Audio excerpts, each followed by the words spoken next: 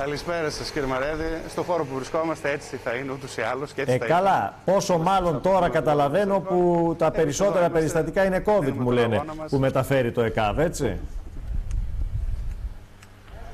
Έτσι, έτσι, έτσι. Αν και είμαστε σε μια σχετική σταθερή κατάσταση. Σχετική, σχετική Για δώστε μου την εικόνα τώρα. Το ε, νοσοκομείο των Τρικάλων, που κάνουμε εμείς... τι αντιμετωπίζει, Κοιτάξτε, πόσους εμείς... ασθενείς έχουμε με κορονοϊό, τι γίνεται. Δώστε μου τη γενική εικόνα. Ε, αυτή τη στιγμή σήμερα από τη χθεσινή εφημερία, επειδή έτυχε να εφημερεύω κιόλας, βρεθήκαμε το πρωί, γιατί κάθε μέρα το κοιτάζουμε σαν αριθμό αν θέλετε, με 22 νοσηλευόμενους ασθενείς με απομόλυνση COVID ναι. και η ΜΕΘ αυτή τη στιγμή, επειδή μίλησα με τους συναδέλφους, έχει φτάσει στα 10 περιστατικά. Ε, οπότε είμαστε σε μια σταθερή κατάσταση στην ε, κλινική COVID αν θέλετε η ΜΕΘ έχει γεμίσει. Βέβαια δεν είναι όλα τα περιστατικά διασωληνωμένα. Σήμερα, είναι λέμε στο άρα σήμερα που μιλάμε η, η μονάδα εντατικής Αλλά... θεραπείας έχει διαθέσιμα κρεβάτια στα Τρίκαλα ή όχι;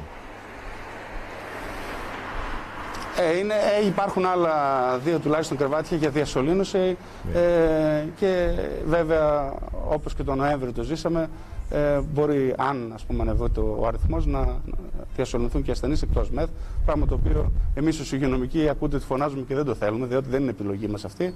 Οι μονάδες εντατική θεραπείας είναι οργανωμένοι χώροι παροχής υπηρεσιών φροντίδας και υγείας εντατική μάλιστα και δεν είναι ο κατάλληλος χώρος ε, να βρίσκονται αυτά τα κρεβάτια εκτός κλινικών οργανωμένων.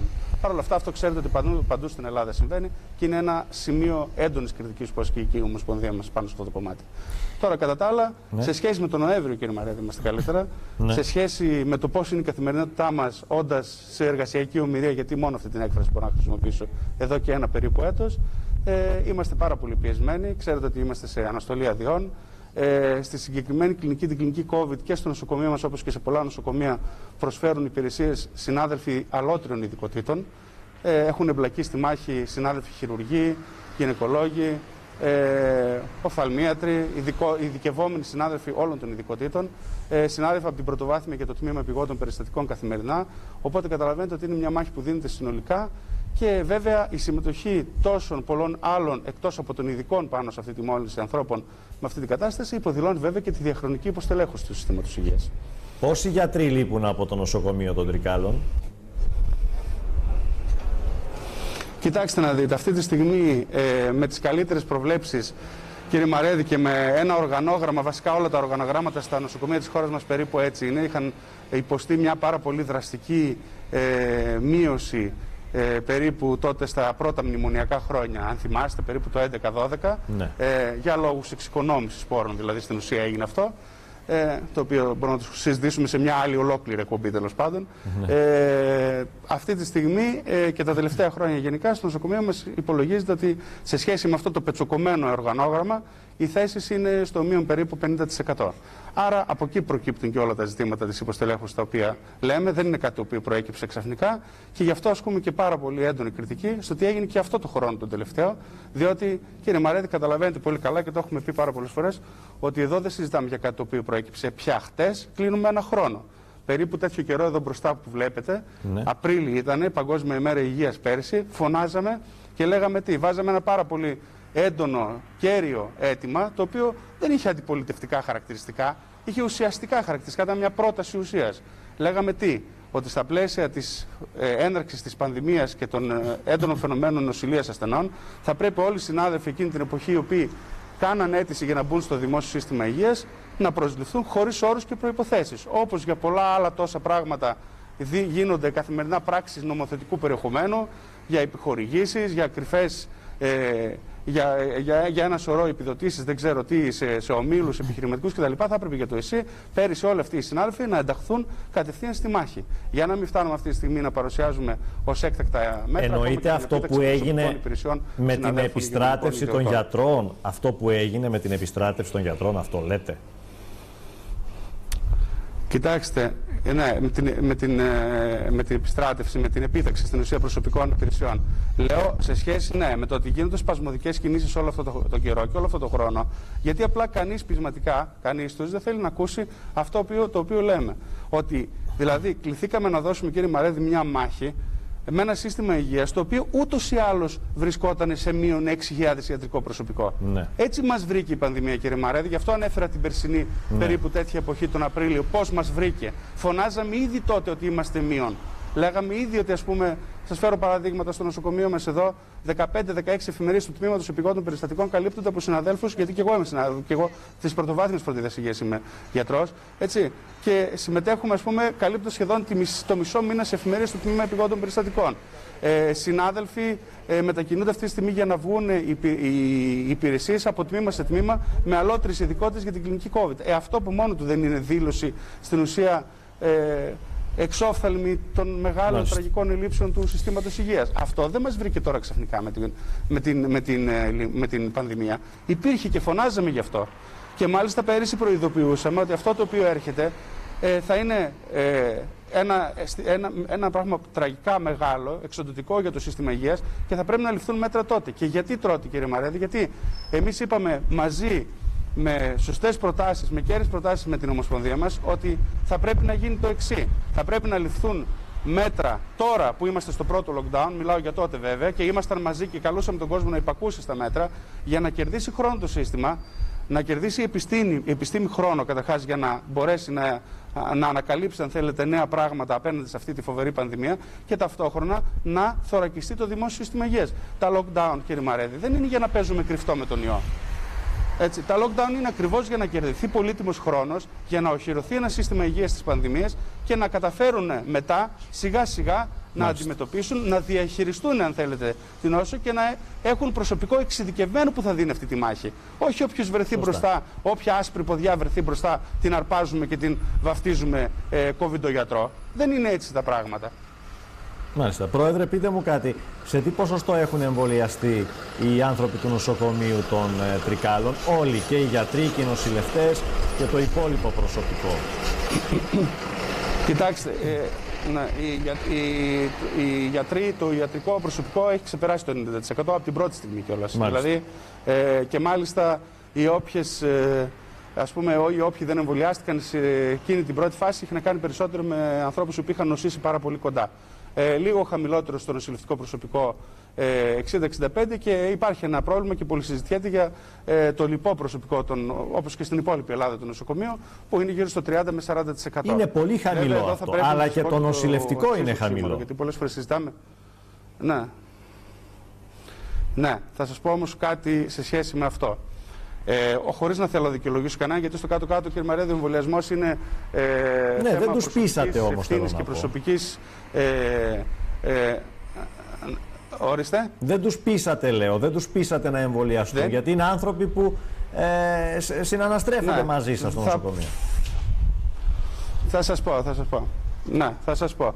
Ε, λέω το εξής, ότι πρώτα απ' όλα θα πρέπει να συζητήσουμε λίγο για το περιβόητο υγειονομικό προσωπικό. Ότι, ας πούμε, ένα ίδρυμα όπως το συγκεκριμένο πίσω μας ε, έχει περίπου 950 εργαζόμενους και περίπου 140 με 150 από αυτούς είναι γιατροί. Έτσι, θέλω να πω ότι ο κόσμος, ακούγοντα υγειονομικό προσωπικό, προφανώς στο μυαλό του έχει μόνο την άσπρη μπλούζα, αλλά οι οργανισμοί του ΕΣΥ και τα νοσοκομεία και τα κέντρα υγείας είναι τεράστιοι οργανισμοί και υγειονομικό προσωπικό είναι και η διοικητική υπάλληλη και η οικονομική υπηρεσία και η, και η υπηρεσία των μηχανικών που έχει, γιατί είναι ένας ολόκληρος οργανισμός. Σε σχέση με το αν τους πείσαμε ή όχι, θα ήθελα να σας πω ότι δική μας δουλειά σαν γιατροί είναι όταν οι συνάδελφοι με τους οποίους συναναστρεφόμαστε εδώ, είτε αυτό που αφορά μια καθαρίστρια είτε μια νοσηλεύτρια, είναι ε, είναι του τύπου ε, Βάγιο θα το κάνεις, τι λες για το εμβόλιο και στα γρήγορα μπορείς να αποτυπώσεις την πρότασή σου ή ε, το τι είναι ακριβώς το εμβόλιο. Ε, αυτό το οποίο θα έπρεπε να γίνει οργανωμένα για να αρθούν οι όποιες, αν θέλετε, φοβίες των εύλογων, προσέξτε γιατί βάζω αυτούς μόνο στο κάδρο, των εύλογων ανησυχιών, θα έπρεπε να είναι ευθύνη κυρίως και της πολιτείας και των οργανισμών όπως είναι τα νοσοκομεία, διοργανώνοντα ακόμη και διαλέξεις στις οποίες εμείς θα συμμετείχαμε για να εξηγήσουμε τι ακριβώς είναι ο εμβολιασμός. Ναι. Έτσι, ποιους κινδύνους δεν έχει όπως και πολλά φάρμακα ούτως ή άλλως. Καταλαβαίνετε ότι αυτό δεν γίνεται μπροστά στον σέρι ανεβαίνοντας από τον έναν όρφο στον άλλον για να το αναλάβουμε και αυτό. Ήδη από μόνοι μας ενώ εμείς θα το κάνουμε στην κουβέντα σαν γιατροί με τους ασθενείς μας, θα το κάνουμε στην κουβέντα με τους συναδέλφους μας, αλλά θα γίνει στα γρήγορα στο διάδρομο. Άρα λοιπόν η εκστρατεία γενικά κατά των εμβολιασμών, που είναι και ένα μεγάλο στίχημα της πρωτοβάθμιας ούτως ή άλλως, θα πρέπει να γίνεται οργανωμένα έτσι ώστε να έρθουν Ξεκινάω σε αυτό που σας είπα πριν, οι εύλογες ανησυχίες. Βέβαια, στις ανησυχίες αυτές συμβάλλουν πάρα πολύ καλά και το ξέρετε και το βλέπετε τις τελευταίες μέρες, γιατί και εμείς συμμετέχουμε και σε εμβολιαστικά κέντρα μαζί με όλα τα άλλα που κάνουμε. Ε, και οι παλινοδίες των χωρών, των κρατών, της ίδιας Ευρωπαϊκής Ένωσης με διαφορετικές ταχύτητες. Με τη μία χώρα να λέει Όχι, εγώ θα εμβολιάσω με αυτό κάτω από τα 60. Με την άλλη να λέει Όχι, εγώ θα το βάλω και 65. Mm. Με άλλους να λένε Αυτό το εμβόλιο είναι άχρηστο και ξαφνικά από χτες να εμφανίζονται και να κάνουν και τις πρώτες παραγγελίες. Λοιπόν, αν σε αυτό το πλαίσιο ένας άνθρωπος ο οποίος εγώ να πω ότι μπορεί να είναι ε, γιατί δεν θα βάλω τον, τους αρνητές. Κύριε Μαρέδη, πραγματικά πιστεύω ότι οι αρνητές είναι ο εύκολος αντίπαλος. Ο άνθρωπος ο οποίος είναι συνδεδεμένος αυτόματα είτε με τον Άγιο Παίσιο είτε με το τσίπ του διαβόλου και δεν ξέρω τι άλλο, είναι δικό του ζήτημα. Α δει μια ακτινογραφία από μια COVID μόλυνση και λίμωξη και θα καταλάβει από τι κινδυνεύει να πεθάνει. Αλλά οι εύλογες ανησυχίες ενισχύονται από αυτές τις παλινοδίες της κεντρικής εξουσίας. Φαντάζομαι δεν διαφωνείτε μαζί μου σε αυτό. Εντάξει, δεν έχει σημασία. Δηλαδή δεν Μπορεί υπάρχει συντεταγμένη στρατηγική σε σχέση Τώρα, με την άποψη για τον εμβολιασμό δεν που ξέρω στον κόσμο αυτή τη στιγμή. Ή, ή ο τραυματιοφορέας ή η νοσοκόμα στο νοσοκομείο Τρικάλου αν επηρεάζεται επειδή ο Μακρόν ε, παρήγγειλε ξέρω εγώ, το ρωσικό εμβόλιο ή όχι. Αυτό είναι ένα ζήτημα. Νομίζω ότι. Όχι. Μπορεί να μην επηρεάζεται από αυτό. Δεν αλλά νομίζω ότι επηρεάζεται. Κοιτά... Ναι, όταν όμως ε, αμφισβητούσε λίγο καιρό πριν ένα εμβόλιο το οποίο παραγγέλνει. Δεν είναι αυτό προσπαθώ να πω ναι. Μπορεί να επηρεαστεί γιατί είναι και αυτός θεατής μιας κατάστασης. Όπως επίσης έτσι και οι διοικητικοί υπάλληλοι και οι λοιπές υπηρεσίες που σας είπα, καταλαβαίνετε ότι δεν είναι προσωπικό το οποίο είναι πρέπει λίγο ε, εσείς, τόσο κοντά Πρέπει λίγο να τους μιλήσετε, να αναλάβετε μια πρωτοβουλία εσείς οι γιατροί, οι επιστήμονές μας που είστε στην πρώτη γραμμή, να πείσετε τους ανθρώπους για το δικό τους καλό, για το, το καλό των οικογενειών. Κύριε Μαρέτη, το έχουμε κάνει πάρα πολλές φορές. Να ξέρετε, και στο συγκεκριμένο νοσοκομείο εδώ υπάρχει και συνάδελφος που ε, και η ιατρική υπηρεσία ανέλαβε και μάθημα μάλιστα σε σχέση με τους εμβολιασμούς, ακόμα και για τους νεότερους συναδέλφους. Αλλά γενικά το βάζω το ζήτημα αυτό σε σχέση με τις δικές μας πρωτοβουλίες και για το πώς αυτή η ασυναρτησία απόψεων σε κεντρικό επίπεδο, ακόμη και κυβερνήσεων, ξέρετε πολύ καλά τώρα τη δύναμη ε, ενός Αυτό που λέτε είναι πολιτική θέση. Δηλαδή, ε, βλέπετε ότι χώρες ολόκληρες έτσι. Ε, δεν επηρεάζεται ο κόσμος από αυτό λοιπόν. Όταν δεν υπάρχει ενιαία στάση και γραμμή. Εγώ πάντως, σαν ηγετικός, αυτό που μπορώ να κάνω είναι, αφού μου δίνεται και αυτό το βήμα, να πω το εξής. Ότι για μας έχει σημασία ο κόσμος να τρέξει ε, να εμβολιαστεί άμεσα, με, και αυτό ζητούσαμε από την αρχή, όλα τα διαθέσιμα αδειοδοτούμενα εμβόλια αυτή τη στιγμή που έχουν πάρει άδεια ως εμβόλια να διατίθονται στη χώρα μας, να μην υπάρχει έλλειψη εμβολίων και καλούμε τον κόσμο να τρέξει να εμβολιαστεί με τα εμβόλια. Διότι για να άρω και τις όποιες αμφιβολίε από τη δική μου θέση και όσο μπορώ. Έτσι, λέω το εξής. Ε, τα ποσοστά ακόμα και αυτό και για αυτό το λεγόμενο εμβόλιο τις τελευταίες μέρες είναι πραγματικά απειροελάχιστα. Δηλαδή, σε σχέση με τη βιοστατιστική και την φαρμακοεπαγρύπνηση και όλα αυτά που παρακολουθούμε εμείς οι επιστήμονες, κ. Μαρέδη, έχει να κάνει με ποσοστά της τάξης του 0,004%. Ε, όλοι αυτοί λοιπόν οι οποίοι έχουν εύλογες ανησυχίες, ξαναλέω με τους αρνητές δεν θα ασχοληθώ, δεν αλλάζει το μυαλό τους, είναι δεδομένο αυτό. Λοιπόν, και είναι και ελάχιστοι ευτυχώς.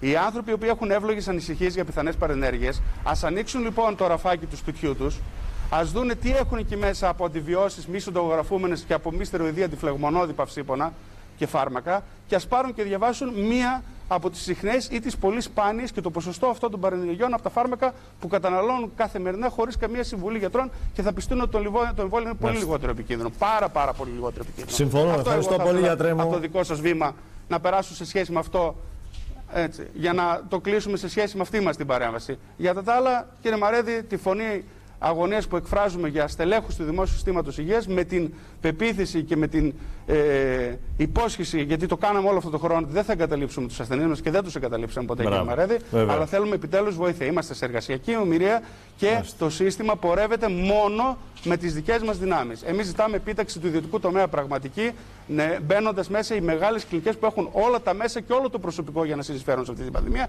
έτοιμο. Είστε Δεν θα μας λύσει το πρόβλημα ο συνάδελφος ο Γιώργος με το διπλανό ιατρείο στο Βόλο στα Τρίκαλα που 20 χρόνια κάνει πρωτοβάθμια φροντίδα υγείας.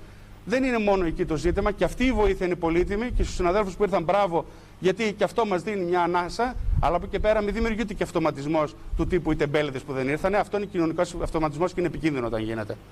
Ευχαριστώ, Πρόεδρε. Να είστε καλά. Ευχαριστώ για το χρόνο σας. Ξέρω έχετε εφημερία, πρέπει να ξαναγυρίσετε. Ευχαριστώ πολύ. Να είστε καλά.